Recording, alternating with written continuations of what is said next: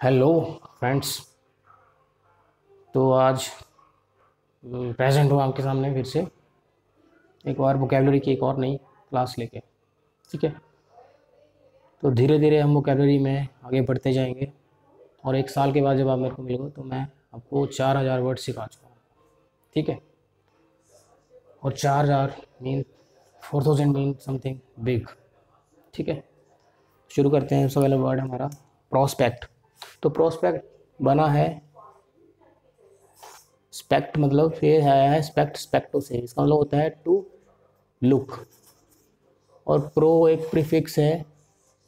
इसका मतलब होता है बिफोर अहेड और फॉरवर्ड मतलब किसी चीज़ को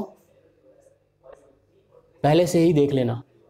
बिफोर या फॉरवर्ड अप्रोच हो आदमी की जिसकी जो पहले से चीज़ों को देख लेता है। ठीक है? तो पहले से ही चीज़ों को देखना जो होता है, उसको क्या बोलते हैं? प्रॉस्पेक्ट इसको आशा बोलते हैं हिंदी में, या संभावना, या अनुमान. तो इसका जो साइनोनिम है वो एंटिसिपेशन है. एंटिसिपेशन मतलब चीज़ों को पहले से अनुमान लगा लेना. ठीक है? Introspect specto again to look और इंट्रो मतलब इनसाइड इनसाइड मतलब अपने ही अंदर अपनी जाँच करना, अपने अंदर झाँक के देखना कि मैं अभी किस लेवल पे हूँ या मैं जो कर रहा हूँ वो क्या कर रहा हूँ। कई बार बोलते हैं फ़र्स्ट इंट्रोस्पेक्ट योर सेल्फ कि पहले अपने आप को देखो। जब आदमी कोई बहुत ज़्यादा भाषण देता है तो पहले उसको कई बार बोल, बंदे कोई बोल देते हैं कि फ़र्स्ट इंट्रोस्पेक्ट योर सेल्फ पहले अपने आप को देख लो यार, ठीक है?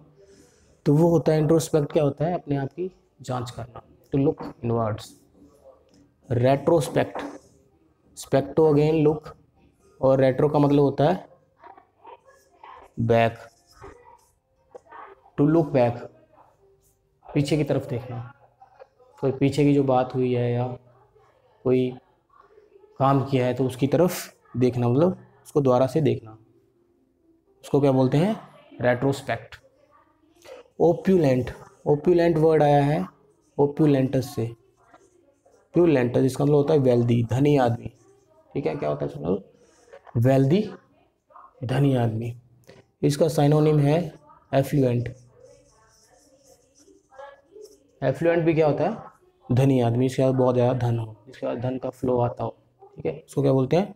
एफ्लुएंट आगे वर्ड है लियोनाइन क्या है? लियोनाइन तो लियो होता है यूज़ लॉइन शेयर के लिए।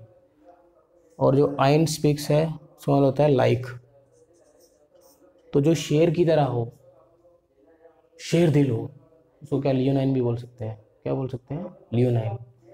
जो शेर के जैसा हो, उसको लियोनाइन बोल सकते हैं, ठीक है? अगला वर्ड है कैनाइन। कैनिस इसके लिए होता है ग्रीक? डॉग के लिए। और आइन अगेन, लाइक। तो जो डॉग लाइक हो ठीक है? जो डॉग लाइक हो उसको क्या बोलेंगे? कैनाइन। ठीक है? तो अगला वर्ड है उर्सा मेजर उर्सा माइनर तो जो ग्रीक उर्सस है उर्सस इसका मतलब होता है बियर तो मेजर मतलब लार्ज माइनर मतलब small small beer and large beer कई बार सुना होगा आपने उर्सा मेजर उर्सा माइनर तो समझ लो क्या आता है small beer and large beer अगला वर्ड है क्लैंडेस्टाइन अगला वर्ड है क्लैंडेस्टाइन क्लैंडेस्टाइन वर्ड आया है क्लैम से. इसका मतलब होता है सीक्रेट क्लैम का मतलब होता है सीक्रेट। तो ऐसा कोई सीक्रेट प्लान जो किसी इलीगल चीज़ के लिए बनाया जाए। ठीक है? इसको गुप्त भी बोलते हैं। गुप्त, सीक्रेट। तो ऐसा सीक्रेट जो किसी इलीगल या इलिसिट चीज़ के लिए हो, अवैध चीज़ के लिए हो। ठीक है? Decapitate decapitate decapitate जो वर्ड है वो आया है। कैपी इसका है? कैपिटस ग्रीक कैपिटस मतलब होता है हेड जैसे कैप्टन है। तो कैप्टन भी क्या होता है? टीम का हेड होता है। ठीक है? कैप्टन क्या होता है? टीम का हेड और कैपिटल क्या होती है किसी देश की? या किसी स्टेट की? हेड सिटी मतलब कैपिटल्स जो होता है, उसका मतलब क्या होता है? हेड ग्रीक वर्ड है ये। तो डी कैपिटेट मतलब होता है डी मतलब नेगेटिव स्पिक्स है, ठीक है? तो किसी का सिर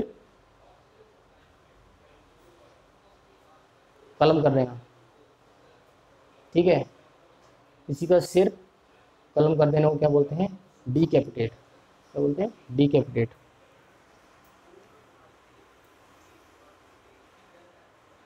री कैपिटुलेट री मतलब?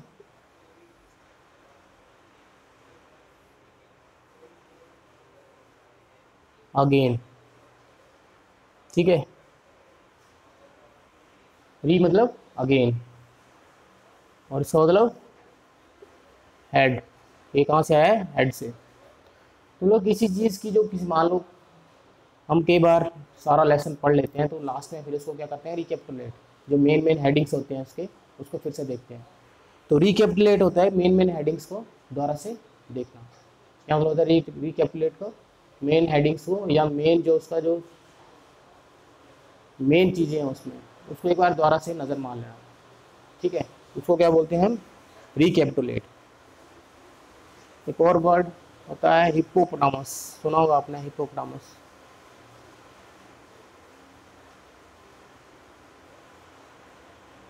तो हिप्पो जो होता है, वो होता है यूज़ हॉर्स के लिए, घोड़े के लिए। और जो पोटामस होता है यूज़ रिवर के लिए। तो हिप्पोपोटामस क्या होता है? दरियाई घोड़ा। हिप्पोपोटामस क्या होता है? दरियाई घोड़ा। तो चीज़ों का जो बेसिक इटाइमोलॉजी है वर्ड्स का, उससे हम सारे वोकेबलरी कर रहे हैं। तो कोई नया शब्द भी अगर आप देखोगे तो उसमें ये जो सफिक्स परफिक्स और जो, ये जो बेसिक रूट वर्ड हैं, अगर ये आ रहे होंगे तो उसका एक एक आइडिया लगा लोगे आपकी इसका मीनिंग क्या होगा। ठीक है? तो ऐसे ही करते जाएँगे हम डे बाई डे अपने आप को इम्प्रूव ठीक है? Thank you